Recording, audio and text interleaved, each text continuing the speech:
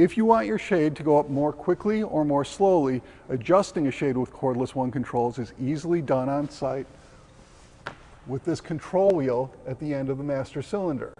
Begin with the shade in the up position. Hold the master cylinder.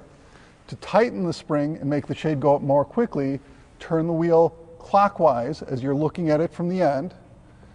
This will tighten the spring and make it go up more quickly. Or turn it counterclockwise to loosen it and make the shade go up more slowly and more gently.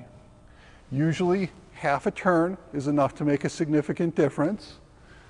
If your shade does not have a valance like this and the shade comes off the front of the headrail, this control wheel will be on the right hand side and again the same rules apply.